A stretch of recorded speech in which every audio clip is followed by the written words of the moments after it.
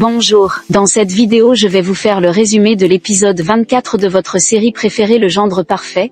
Dans cet épisode vous verrez comment Siddharth découvre que Durga était derrière tout ce qui leur est arrivé pendant leur lune de miel, et il lui lance un défi que Durga accepte.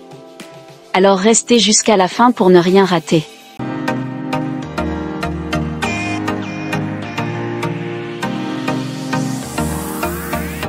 Roshni se plaint de la chaleur accablante tandis que Siddharth, essayant de la réconforter, lui apporte du thé et des beignets. Cependant, la température élevée, 35 degrés Celsius à l'ombre, rend Roshni irritable, et elle refuse de manger. Le couple se dispute alors sur la décision de marcher pendant des heures sous le soleil après avoir raté le bus. Roshni regrette cette idée, qu'elle trouvait pourtant romantique au départ. Quand un autre bus arrive, Siddharth la pousse à se dépêcher, et il monte finalement dans le bus, bien que Roshni ironise sur le manque de romantisme de cette aventure. Parallèlement, Mona essaie de convaincre Durga de se détendre et de jouer avec eux, mais Durga est absorbée par son travail, rappelant qu'elle subit une pression immense pour subvenir aux besoins de tout le monde.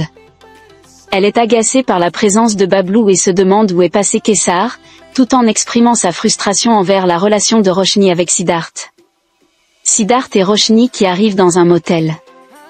Bien que le motel soit dans leur budget, la réservation a été annulée, et il n'y a plus de chambre disponible. Siddharth, désemparé, essaie de trouver une solution, mais la réceptionniste leur annonce que le prochain hôtel est à 10 km de là, ajoutant une autre complication à leur voyage. Durga complote dans l'ombre. Elle charge Kessar de surveiller Siddharth et Roshni, se réjouissant de voir leur lune de miel tourner au fiasco après l'annulation de leur réservation au motel. Siddharth essaie désespérément de résoudre la situation, mais la réceptionniste lui annonce que la réservation a été annulée et que toutes les chambres sont prises. Frustré, Siddharth tente de discuter avec un supérieur, mais il est confronté à la réalité, il n'y a pas d'autres options d'hébergement à proximité. Roshni, de plus en plus agacé, reproche à Siddharth la situation, bien que ce dernier tente de lui expliquer que ces problèmes sont fréquents dans des endroits modestes, loin des hôtels 5 étoiles auxquels Roshni est habitué. Leur échange devient de plus en plus tendu, avec Roshni exprimant son mécontentement sur cette lune de miel qu'elle n'oubliera jamais pour les mauvaises raisons. Roshni, bouleversée, s'éloigne pour être seule, mais ses pensées tourmentées la rattrapent.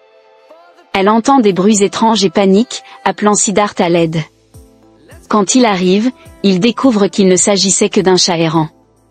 Roshni, soulagée mais encore sous le choc, se dispute avec Siddharth pour l'avoir laissé seule, bien qu'elle l'ait demandé. Leur échange révèle une profonde affection sous-jacente malgré la frustration. Siddharth reconnaît ses erreurs, admettant qu'il aurait dû mieux planifier et anticiper, les besoins de Roshni. Roshni avoue qu'elle a faim. Siddharth, soucieux de la rendre heureuse malgré les difficultés, propose de chercher un restaurant qu'il a entendu mentionner. Mona et Recham se retrouvent au restaurant, prêtes à passer leur commande. Mona choisit un plat simple de spaghettis et une assiette de pain à l'ail, mais Recham, avec son caractère excentrique, décide de prendre les choses en main et commande pour elle deux. Cependant, sa confusion avec les plats commence à se manifester. Elle confond la salsa, une danse cubaine, avec un plat, et tente de commander des lasagnes de salsa. Le serveur la corrige patiemment, expliquant que le plat est simplement des lasagnes, sans épinards. Ensuite, Recham hésite sur le plat le plus cher du menu, la bouillabaisse, qu'elle prononce mal et ne semble pas comprendre. Malgré son manque de connaissances culinaires, elle décide de commander la bouillabaisse, affirmant avec confiance qu'elle l'appréciera une fois servie. Pendant ce temps, Mona, tout en observant Recham avec amusement, se demande comment se passe la lune de miel de Sid et. Elle espère que le couple profite de leur temps ensemble et se réjouit que Sid ait pu éloigner Durga, leur Didi, de leur lune de miel. Mona exprime également son inquiétude, souhaitant que Sid et Roshni ne rencontrent pas de mauvaises surprises pendant leur voyage, ignorant que des complications sont déjà en cours. Roshni et Sid se trouvent au restaurant après une série de malentendus et de mésaventures durant leur lune de miel. Roshni exprime des doutes sur sa valeur en tant que femme de Sid, Sid, se sentant coupable à cause d'une dispute précédente. Sid, tentant de la rassurer, explique que ses paroles étaient dues à la colère et qu'elles ne reflètent pas ses vrais sentiments. Ils essaient de profiter de leur repas, bien que Roshni soit peu habitué à manger avec ses mains dans un cadre modeste, ce que Sid trouve charmant. Cependant, la situation prend un tournant dramatique lorsqu'ils réalisent qu'ils n'ont pas de quoi payer l'addition. Sid découvre qu'il a perdu son portefeuille, et Roshni n'a pas non plus d'argent dans son sac à main, qu'elle n'a apporté que pour son maquillage. Face à cette situation embarrassante, Sid tente de négocier avec le serveur et le propriétaire du restaurant, mais ces derniers sont méfiants. Le propriétaire, croyant que Sid essaie de tromper le restaurant pour impressionner Roshni, menace d'appeler la police, laissant le couple dans une position délicate. Sid et Roshni se retrouvent au poste de police après avoir été arrêtés pour ne pas avoir pu payer leur dîner, suite à la perte du portefeuille de Sid. Kessar, en observe la situation, se rend compte que Didi va trop loin dans ses machinations, au point de risquer d'envoyer Roshni en prison. Au poste de police, Sid et Roshni sont visiblement frustrés l'un envers l'autre, mais chacun préfère garder ses pensées pour éviter une dispute. Sid pense que Roshni aurait dû apporter de l'argent avec elle, tandis que Roshni blâme l'irresponsabilité de Sid pour leur situation. Malgré leur frustration, ils gardent le silence, se contenant de regards et de réponses brèves. Lorsque l'officier interroge le couple, il remarque la différence de nom de famille, ce qui suscite des doutes sur leur relation. Sid explique qu'ils viennent de se marier et sont en lune de miel, mais qu'il a perdu son portefeuille, d'où leur incapacité à payer. L'officier, de manière taquine, semble prendre le parti de Rochny, ce qui agace Sid encore plus. Il conseille à Sid d'appeler ses parents pour demander de l'argent afin de régler la situation et poursuivre leur lune de miel. Rochny, cependant, s'oppose à cette idée, sachant que Didi, sa mère, ne les aidera pas financièrement. Durga découvre que Roshni et Siddharth ont été emmenés en prison. Elle réagit avec surprise et colère, questionnant Kessar sur son inaction face à cette situation.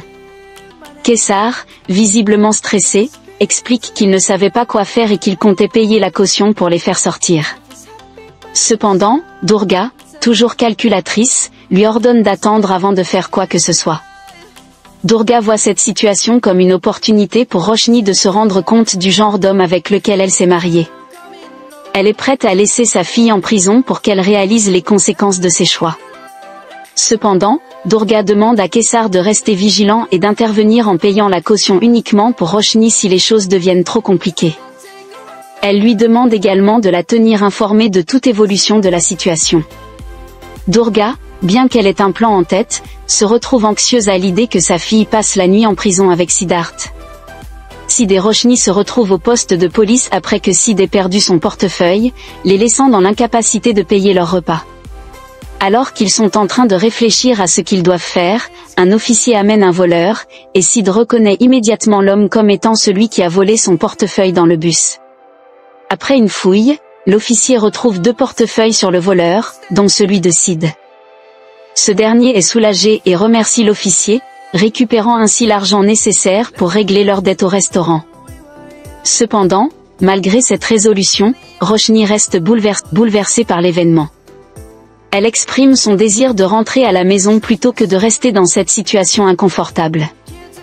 L'officier, montrant sa bienveillance, propose à Sid et Rochny de passer la nuit chez lui, car il sera de garde toute la nuit.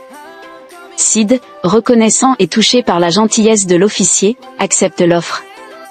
Alors que Rochny finit par s'endormir, Sid la regarde avec tendresse et regret, réfléchissant aux épreuves qu'elle a dû traverser à cause de lui. Il promet de faire tout ce qui est en son pouvoir pour la rendre heureuse et lui offrir la vie qu'elle mérite. Il lui exprime son amour profond, espérant que malgré les difficultés, ils pourront repartir sur de bonnes bases et profiter de leur lune de miel. Kessar, suivant les ordres de Didi, complote pour rendre la nuit de Sid et Rochny encore plus désagréable en perçant des trous dans le plafond, permettant ainsi à la pluie de s'infiltrer. Leur objectif est de rendre la nuit insupportable pour le couple, qui, après une série de mésaventures, se retrouve sous un toit qui fut chez un inconnu.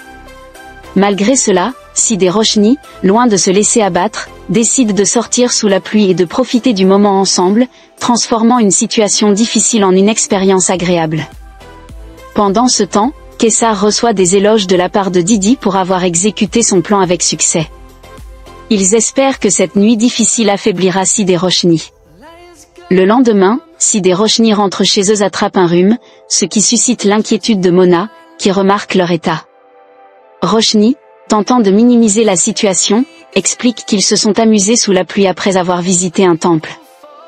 Elle essaie de montrer que malgré les épreuves, ils ont réussi à passer un bon moment ensemble. Sid, bien que fatigué, confirme les paroles de Roshni, et tous deux sont invités à se rafraîchir par Bablou. Sid confronte Durga et Kessar après une série de sabotages orchestrés pour gâcher sa lune de miel avec Roshni. Sid révèle à Durga que Kessar a exécuté toutes les manipulations demandées, allant jusqu'à crever les pneus, annuler leurs réservations et faire des trous dans le plafond pour rendre leur nuit insupportable. Il exprime son mépris pour les actions de Durga et dénonce son comportement en soulignant qu'il est allé bien au-delà des limites acceptables. Sid, faisant preuve de courage et de dignité, rend à Kessar son portefeuille qu'il avait retrouvé près de chez le policier. Il critique vivement les méthodes de Durga et l'avertit que ces tentatives ne feront que renforcer leur union, affirmant que le destin et le Tout-Puissant seront toujours du côté des gens qui s'aiment. Il lui fait comprendre que ses actions, bien que malveillantes, n'auront pas l'effet désiré et l'inviter à agir de manière plus respectueuse et loyale. Durga, furieuse et déterminée à séparer le couple, accepte le défi de Sid sans hésiter, promettant de tout faire pour prouver que Roshni mérite mieux que lui. Sid, bien que déçu par la tournure des événements, reste ferme dans sa conviction que leur amour est plus fort que les obstacles que Durga tente de créer. C'est la fin de l'épisode. Merci d'avoir regardé, n'oubliez pas de vous abonner.